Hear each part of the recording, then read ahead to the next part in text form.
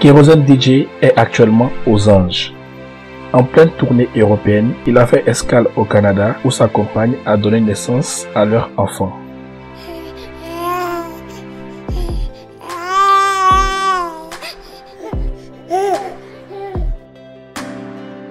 27 février 2020, naquit à Gatineau, au Canada, Brad Ellie, mon troisième fils. Brad et maman Pouchou vont très bien, gloire à Dieu, a déclaré le chanteur très heureux sur sa page Facebook. Tous nos voeux les meilleurs au couple Kérosène et à leurs enfants.